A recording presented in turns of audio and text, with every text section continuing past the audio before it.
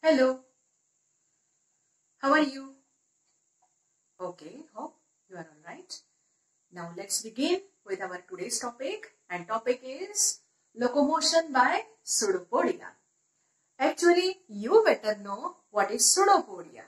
Pseudo means false and podia means legs. Is that clear?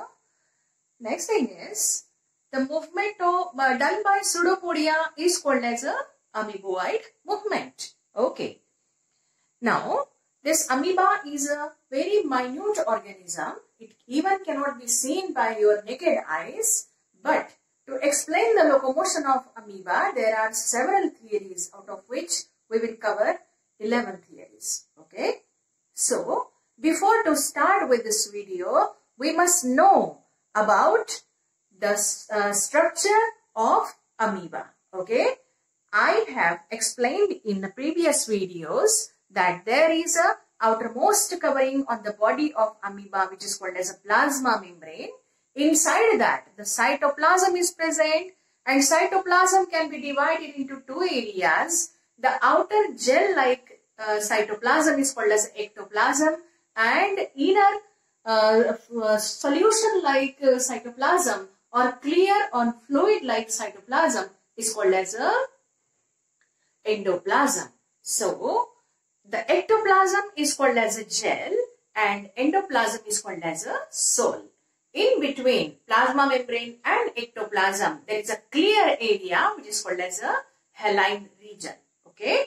So, the first theory of amoeboid movement that is locomotion by pseudopodia is adhesion theory.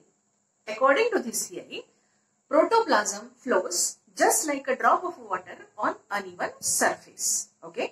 Amoeba किसी surface के ऊपर होता है uneven surface के ऊपर होता है, तब उसका प्रोटोप्लाज्म एडेजन पाथ में जिस दिशा में वो चल रहा है, वहाँ एडेजन ज़्यादा होना चाहिए, उस दिशा में उसका प्रोटोप्लाज्म फ्लो होता है लेकिन इस थियोरी का सबसे बड़ा ड्रॉबैक ये है कि जब अमीबा किसी सरफेस के कांटेक्ट में भी नहीं होता then also there is a development of a pseudopodia. So, ये theory तो गई. Second theory, surface tension theory, which was pro proposed by Sir Berthold in year 1860. Okay, according to this theory, किसी भी fluid के ऊपर एक surface tension होता है जो उसके मॉलिक्यूल्स को अंदर की तरफ़ धकेलता है और उसको कॉन्स्ट्रिक्ट करने की कोशिश करता है जिस जिस तरह से ऑयली सरफेस के ऊपर या बॉडी सरफेस के ऊपर पानी की बूंद जिस तरह से होती है, वो वो सरफेस टेंशन के कारण ही बूंद बनती है। अभी इसका जो साइटोप्लाज्म है, उसके ऊपर भी सरफेस टेंशन होता है, ठीक है?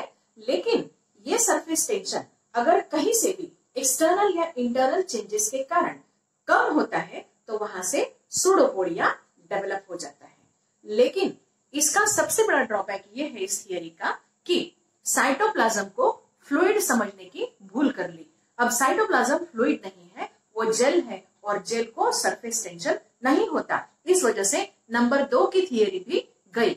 अब नंबर तीन की जो थियरी है, वो है rolling movement theory which was propose by Jenning in year 1904 अब इस थियरी में जिस ऑर्गेनिज्म को स्टडी किया गया था, वो था अमीबा वेरियोकोजा ओके अब ये जो अमीबा वेरियोकोजा है, उसको एक्चुअली दो टाइप की मूवमेंट होती है। उसके शरीर में या उसके साथ दो प्रकार की मूवमेंट होती है या एक्शंस होती है। नंबर वन उसका जो साइटोप्लाज्म है, वो स्ट्रीमिंग वे में घूमते रहता है।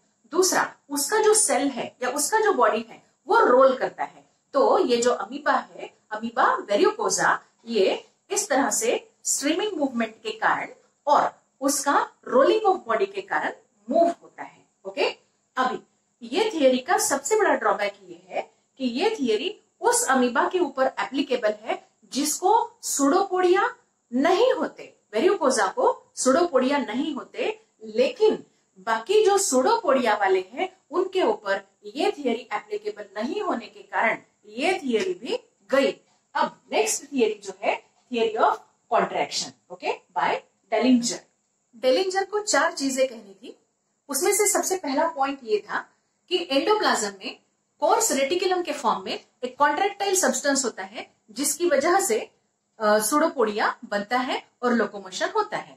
दूसरा पॉइंट इनका ये था कि ये जो ऑर्गेनिज्म है, सुडोपोडिया वाला, ये अपना अगला हिस्सा एक्सटेंड करता है, फिर सुडोपोडिया बनाता है और फिर किसी सबस्ट्रेटम के ऊपर रखता है और फिर उसको कॉन्ट्रैक्ट कर लेता है। इस तरह से वो आगे बढ़ता है। तीसरी बात जो उनको कहनी थी, वो ये थी कि animal is pulled from front side and pushed from back side ये तीसरा पॉइंट था। चौथा पॉइंट उनका ये था कि there is a exchange of water in between ectoplasm and endoplasm for the process of locomotion लेकिन आज की तारीख में जो थियरी सबसे ज़्यादा वाइडली एक्सेप्ट की जाती है, उस थियरी को देखते हुए इस थियरी को आजकल डिस्कार्ड कर दिया गया है। अभी नेक्स्ट जो थियरी है, वो है सोल जेल थियरी अब सोल जेल थियरी वॉज़ को भी दूसरा नाम जो है वो है change in the viscosity theory अब ये जो थियरी है that was propose by Miss Hyman in year 1917 okay and it was supported by Pantin in year 23 he has given support then secondly the support is given by Mast and it was in year 1925 और ये मास्ट जो है, इन्होंने इस theory को बहुत ही खूबसूरती से एक्सप्लेन किया हुआ है। ऐसा एक्सप्लेनेशन आज तक किसी ने नहीं दिया हुआ है। तो what is sol gel theory let's begin theory यहाँ पे पहली चीज़ हम समझ लेते हैं कि कहाँ पे क्या है।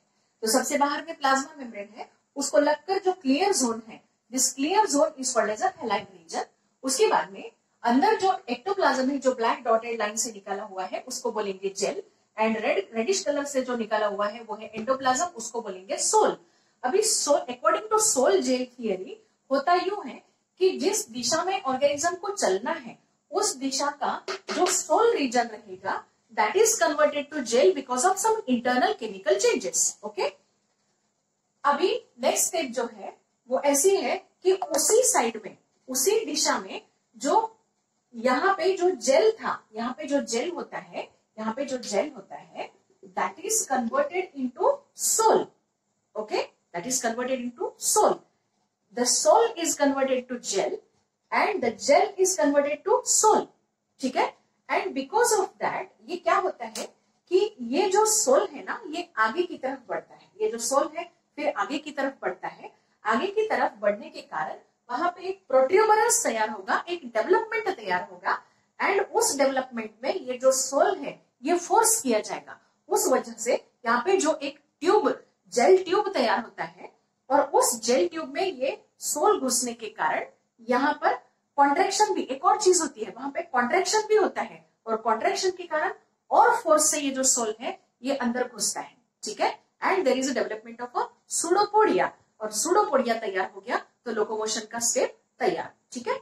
तो अगला हिस्सा जो रहेगा, बाद में उसको इमिडिएटली जेल किया जाएगा। और ये चीज़ कभी भूलना नहीं है कि अमीबा की जो प्लाज्मा मेम्ब्रेन है, वो हाईली इलास्टिक होती है। ब्रेकिंग का कोई सवाल ही नहीं आता। लेकिन इस थियरी का सबसे बड़ा ड्रॉबैक ये है कि इस थियरी में सोल का कन्वर्शन जेल में या जेल का कन्वर्शन सोल में कैसे होता है, ये नहीं बताया गया था।